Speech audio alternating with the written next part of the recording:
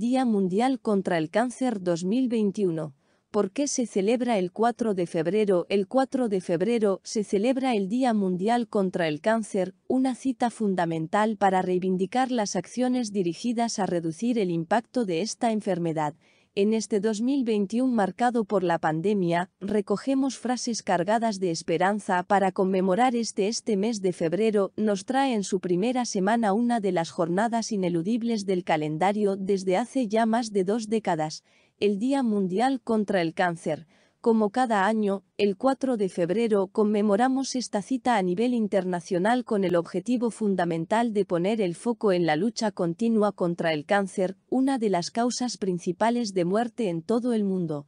Además de concienciar a nivel global sobre esta enfermedad, la jornada pretende difundir acciones de prevención, detección temprana y control de la misma. En esta línea, la SEON, Sociedad Española de Oncología Médica, señala que la mortalidad del cáncer en España ha experimentado un fuerte descenso en las últimas décadas.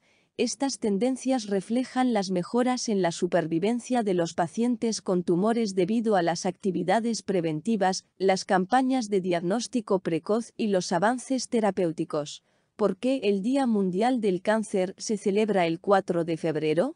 Aunque ya ha pasado un tiempo considerable desde su nacimiento, el Día Mundial contra el Cáncer reivindica cada año, y con más fuerza, el espíritu con el que nació, poner el acento en la prevención del cáncer, en su investigación, en el respeto a los pacientes y en un acceso equitativo a los tratamientos y cuidados.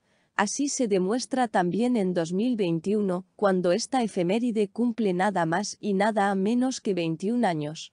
Fue exactamente el 4 de febrero de 2000 cuando, en el marco de la cumbre de París, el entonces presidente francés, Jacques Chirac, firmó la llamada Carta de París, un documento apadrinado por seis sabios determinados a poner en el centro de la agenda pública del nuevo milenio la lucha contra el cáncer, frases para el Día Mundial del Cáncer cuando nos enfrentamos a un diagnóstico de cáncer, independientemente del tratamiento al que nos tengamos que someter, la ayuda y consuelo de los nuestros se convierte en un pilar fundamental.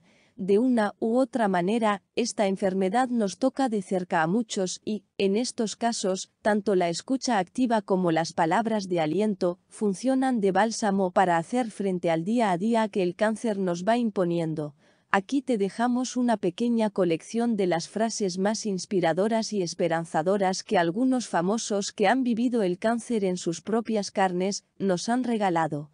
Cada día me miro en el espejo y me pregunto, si hoy fuese el último día de mi vida, ¿querría hacer lo que voy a hacer hoy? Si la respuesta es no durante demasiados días seguidos, sé que necesito cambiar algo.